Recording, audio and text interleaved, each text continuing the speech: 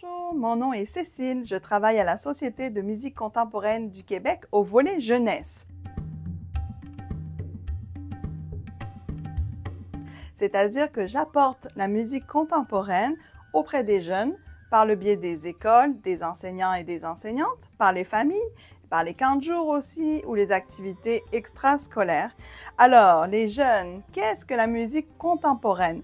On va y revenir plus tard. D'abord, j'aimerais vraiment vous dire que nous sommes très fiers à la SMCQ de pouvoir participer au lundi en musique en français et de pouvoir apporter un petit peu de euh, musique contemporaine dans ce magnifique événement qui a été créé par la Coalition canadienne pour l'éducation musicale.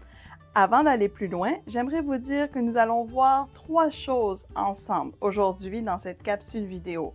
Tout d'abord, nous allons euh, parler un petit peu de la musique contemporaine, des compositeurs, des compositrices, deux en particulier avec qui nous avons travaillé très récemment.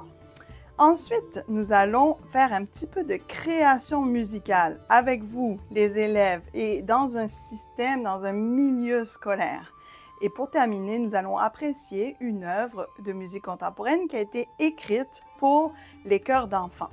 Donc, sans plus tarder, Allons-y. Qu'est-ce que la musique contemporaine?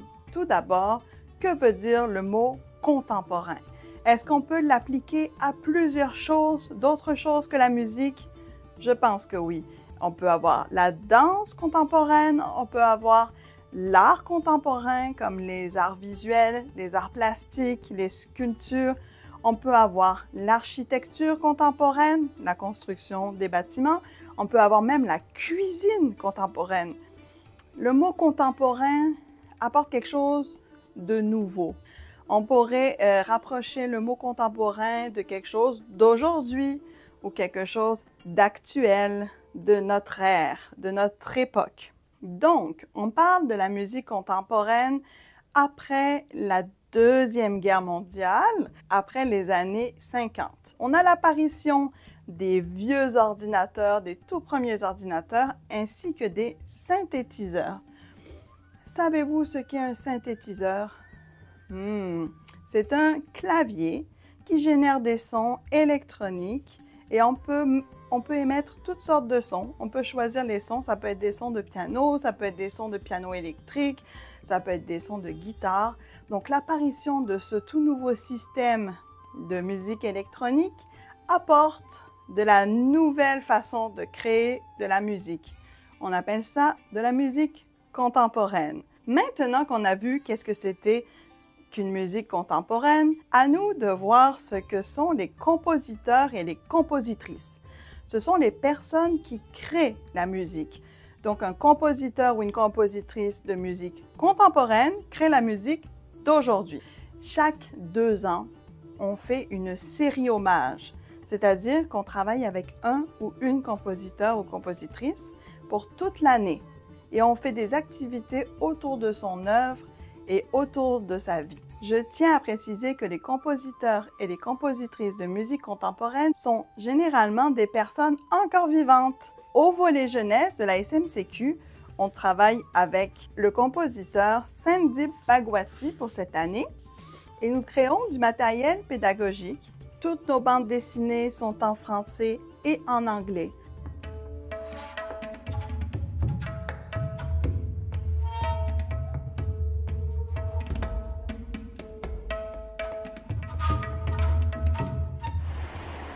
Bonjour, je m'appelle Sandeep Bhagwati. Je suis compositeur, euh, musicien, poète, metteur en scène, père, prof, Aujourd'hui, je suis professeur à l'Université Concordia. Je suis né en Inde. J'ai habité en Allemagne, j'ai habité en Autriche, en Suisse, en, France, à Paris, en Angleterre. Euh, et dans tous ces pays, j'ai trouvé des liens entre des cultures différentes et des musiques différentes de ces cultures. J'ai jamais cherché d'imiter ou de m'approprier d'une certaine musique précise. j'étais toujours intéressé par la manière de penser. Et si on pourrait changer un petit peu de cette manière de penser pour arriver à autre chose, mais qui sera toujours inspiré par au moins deux musiques, peut-être trois ou quatre. Et je le fais toujours avec des musiciens de cette culture. Pour moi, c'est la musique trans-traditionnelle, parce que chaque tradition, c'est une manière de faire des choses. Il y a quelque chose dans chaque musicien qu'on peut faire contribuer à notre perception de la musique ou du monde.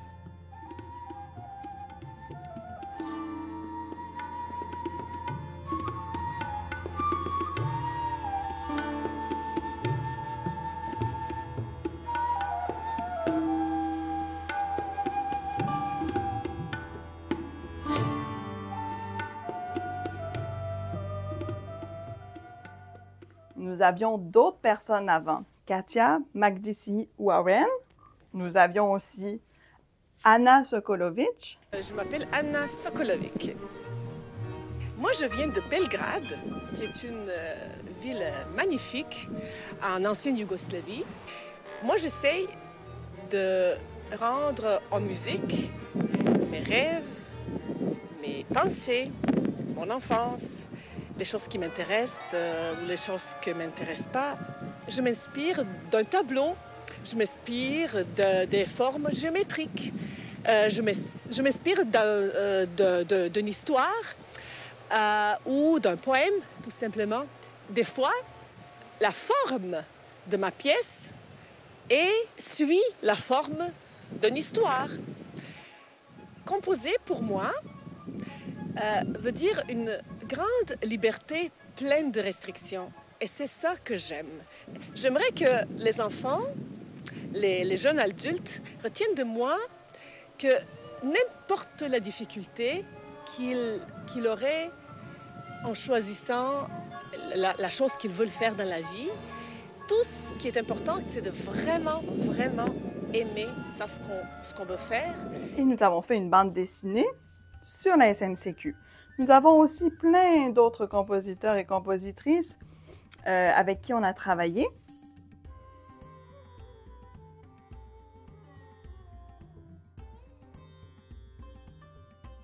Pour partager avec vous une petite portion de la vie de Sandeep Bhagwati, j'aimerais vous lire un extrait de la bande dessinée.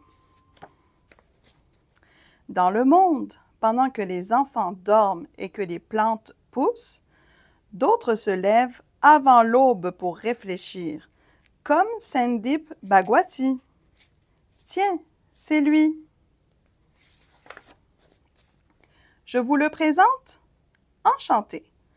Sandeep Bhagwati est né en Inde, le pays de son père, et a grandi au pays de sa mère avec ses deux sœurs en Allemagne. Il a vécu à Paris, à Berlin, à Salzbourg, à München. Actuellement, il partage son temps entre Zurich, où il habite avec sa famille, et Montréal, où il enseigne. Il est compositeur, poète, professeur, chercheur, artiste médiatique, homme de théâtre, directeur de festival et tu raffoles du sorbet au citron. Nous allons sauter un petit peu plus loin dans la bande dessinée. Quel est mon rôle comme compositeur face à l'avenir de la planète? Comment aller au-delà de ce qui est connu? Créer des liens entre nous, les humains, et le monde vivant? Hmm, c'est un peu compliqué ça. Raconte plutôt ton enfance. Encore? Tu la connais par cœur? S'il te plaît, allez. Il était une fois. Ok, ok. Alors, Bombay, Inde, année 1960. Chez nous, au milieu du brouhaha de la ville, mon père écoute du rock, du jazz, du raga et de la musique de Bollywood. Dans notre appartement, il y a aussi le piano que maman a fait transporter d'Allemagne et qui a dû être adapté au climat tropical. Elle joue Schubert, Beethoven, Rachmaninoff, aussi bien qu'une virtuose. À un an, je m'amuse déjà à taper sur le clavier pour l'imiter. À un an, c'est vrai. J'arrête la lecture ici, mais j'aimerais vous inviter à cliquer sur le lien pour accéder à la bande dessinée au complet. J'aimerais vous présenter une autre compositrice qui a travaillé à la SMCQ dans la série Hommage en 2020. Elle s'appelle Katia Magdissi Warren. Elle est canadienne et libanaise et sa spécialité, c'est de composer de la musique qui rappelle des traditions de l'Asie, mais aussi des traditions du Moyen-Orient et aussi des peuples autochtones du Canada. Mon nom, c'est Katia Magdissi Warren. Je suis compositrice, puis je fais de la direction artistique aussi. Euh, J'aime beaucoup euh, faire la rencontre de différentes cultures à travers mes compositions, et surtout la musique du Moyen-Orient, parce que ma mère vient du Liban, la musique euh, occidentale parce que mon père est québécois, et j'aime beaucoup la, musique autochtone aussi. Alors on fait, avec des artistes autochtones, on fait une rencontre, puis on travaille dans tout ce mélange musical. Voici un extrait de sa vie en bande dessinée. Et je me suis installée à Montréal. En 2001, j'ai fondé Octoecho parce qu'il n'existait pas d'ensemble pour jouer mes compositions et pour faire entendre ma manière de métisser les musiques du Moyen-Orient, de l'Occident et autochtone. Mon orchestre compte entre 4 et 22 musiciens d'ici et d'ailleurs, dont deux chanteuses de gorge inuites. Je le considère comme une sorte de famille où on apprend à s'écouter les uns les autres et à se comprendre à travers la musique, parce que ce qui m'importe avant tout dans la création musicale, c'est la rencontre humaine, trouver les points communs qui existent entre les différentes cultures et travailler sur le partage et l'harmonie. Katia Magdissi Warren a créé une pièce qui s'appelle Les grands espaces et j'aimerais vous faire entendre cette pièce pour chœur d'enfant et chante-gorge inuit.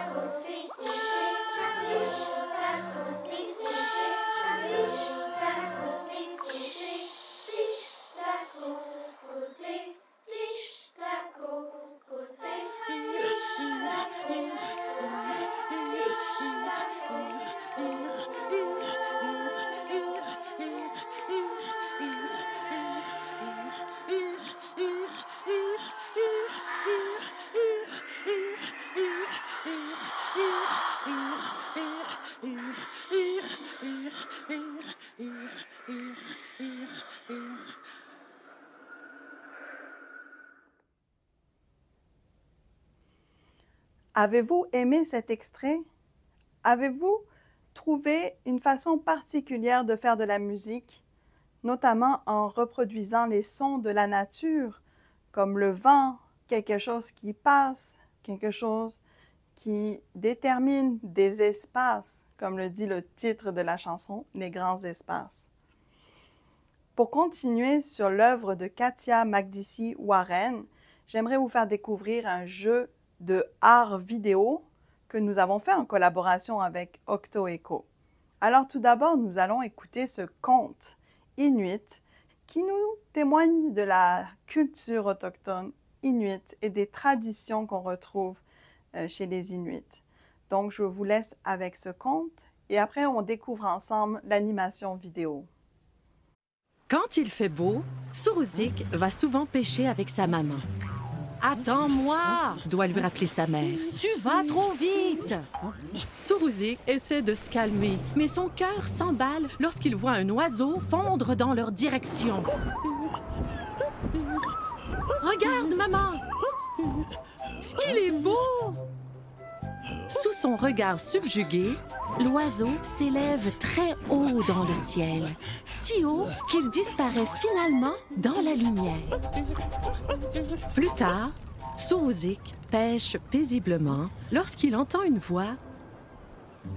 Anitzak! Ohé, Anitzak! C'est nous! Il est heureux de découvrir sa cousine Lucy au loin.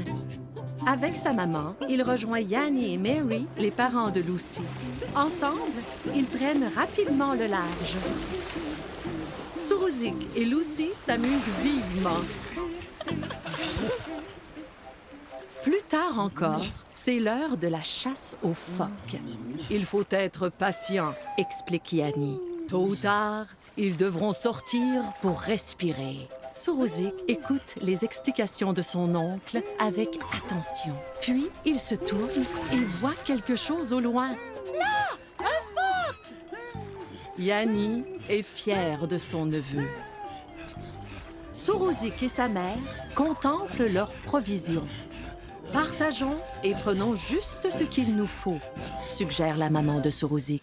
Et rappelons-nous, tout ce qui vient de la terre est une offrande. Maman s'exclame Suruzik.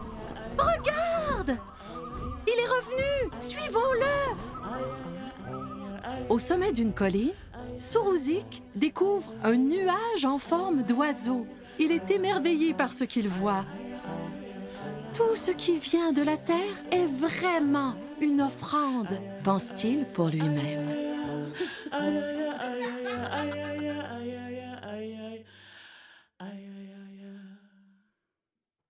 J'espère que vous avez apprécié le conte. Maintenant, glissons-nous dans l'animation. Alors nous découvrons un paysage avec la mer qui est calme, un feu, un animal dans l'eau, un pêcheur, une maison sur la colline, un ciel. Et nous allons pouvoir animer et nous laisser transporter par la musique, le chant de gorge et la musique de Katia Magdisi Warren. Nous pouvons cliquer sur les différents éléments de la culture inuite et se laisser bercer. Alors, je vais vous montrer un exemple de cette animation et nous allons nous laisser transporter ensemble.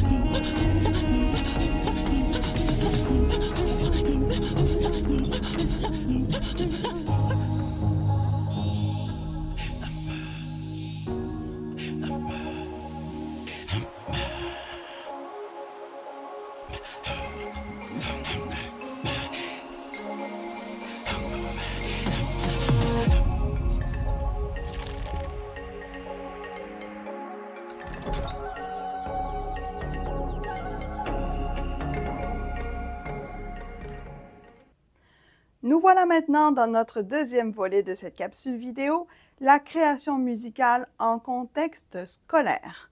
Donc, je sais qu'on n'a pas accès à tous les instruments possibles et imaginables, donc nous allons nous baser sur des éléments qui sont accessibles à l'école.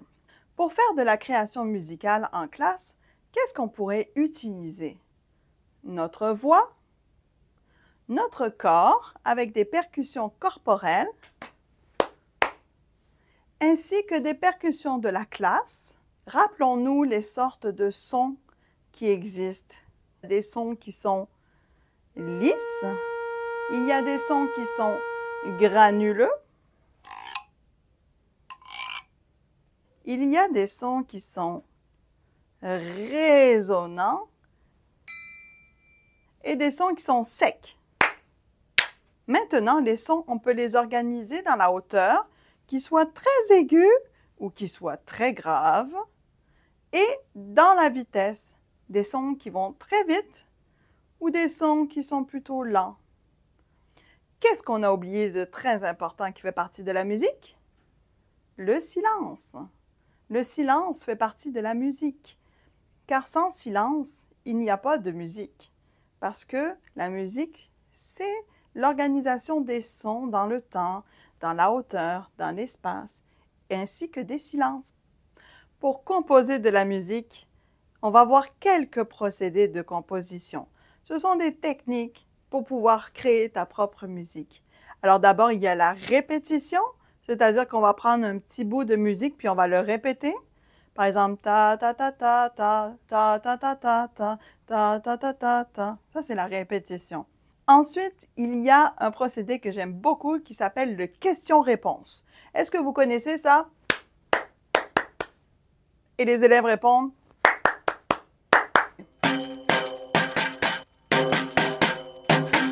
On a une question et on a une réponse. Il y en a plein d'autres, mais le dernier que j'aimerais vous présenter, c'est l'ostinato.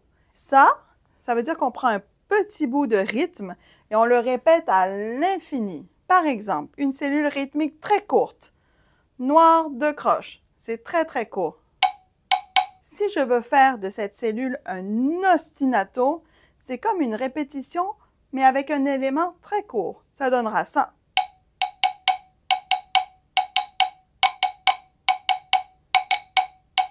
Qu'est-ce qu'on dirait de quatre doubles de croche?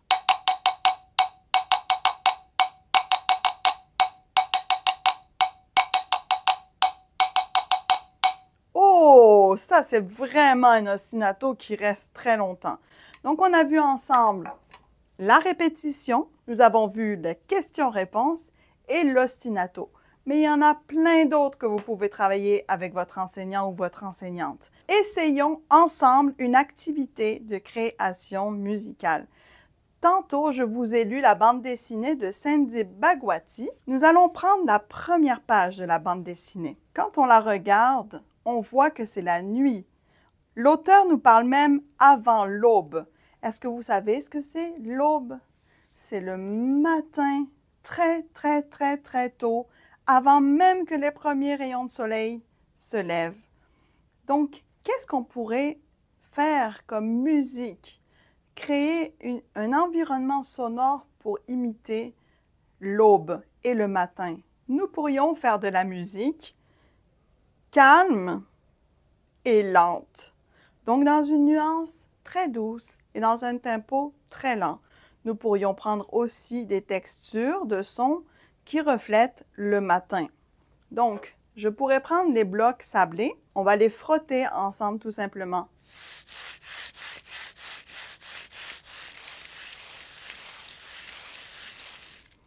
Ensuite, avec les maracas, on pourrait faire un crescendo, donc un son de plus en plus fort pour imiter le soleil qui se lève.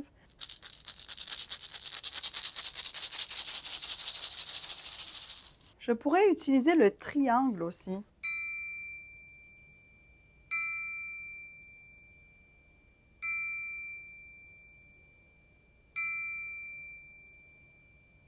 J'ai utilisé la technique de répétition. Que diriez-vous d'utiliser le tambourin? On pourrait frotter la peau du tambourin avec la main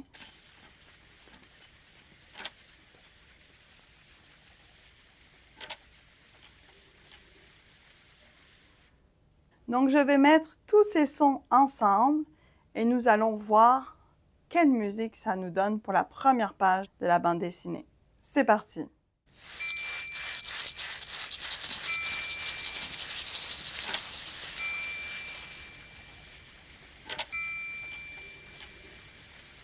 À votre tour, vous pourriez faire la même activité avec votre euh, enseignante ou votre enseignant, mais vous pouvez utiliser la voix, le corps, les percussions, comme bon vous semble. Nous allons faire une deuxième et une dernière activité de création musicale ensemble, toujours avec la bande dessinée. Nous allons utiliser la page numéro 10 que j'ai lue tantôt. Dans l'image, qu'est-ce que vous pouvez voir?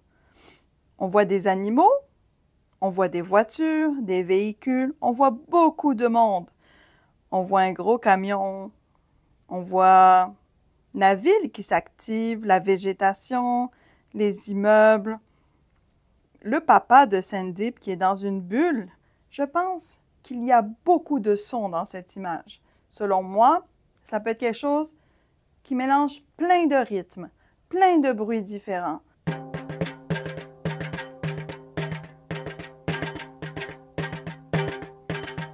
J'ai fait un petit ostinato sur le tambourin. On pourrait utiliser les grelots pour vraiment mélanger tout le brouhaha de la ville, puis montrer qu'il y a plein d'actions.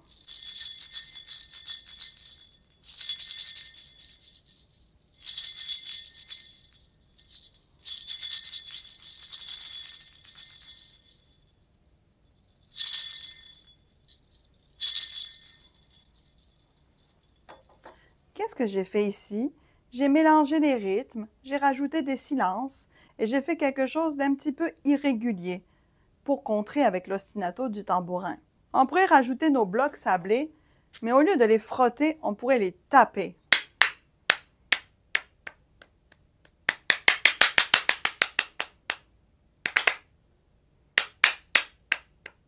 J'ai utilisé les nuances aussi. J'ai fait des fois plus fort, des fois moins fort. Je pense qu'on va utiliser le guiro avec le son granuleux, donc pas taper comme tantôt, mais plutôt gratter.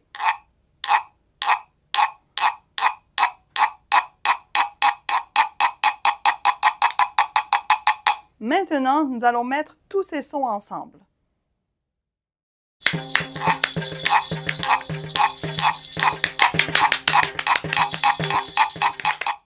Laissez aller votre imagination le plus loin possible et c'est comme ça que vous réussirez votre création musicale. Maintenant que nous avons vu une activité de création musicale à l'école ensemble, c'est comme si nous étions des apprentis compositeurs et compositrices. Qu'est-ce que vous en pensez? Pour terminer cette capsule vidéo, nous allons faire de l'appréciation musicale sur une pièce de Sandip. Nous allons prendre un tout petit extrait de notre compositeur, Sandip Bhagwati, il a écrit une pièce magistrale pour chœur d'enfant et j'ai choisi un petit extrait pour vous faire écouter aujourd'hui. Ça s'appelle Les abeilles. Alors, quand on écoute une pièce, qu'est-ce qu'on fait? On ouvre nos oreilles, on ouvre notre esprit et on ouvre notre cœur. Quels instruments j'entends? Est-ce que la chanson, elle va vite, elle va lentement, elle joue fort, elle joue pas fort? Quelle émotion ou quels effets la musique a-t-elle sur moi? Est-ce que je me sens calme? Est-ce que je me sens stressée? Est-ce que je me sens apaisée? Donc, posons-nous toutes ces questions. On se donne trois secondes et je pars la chanson.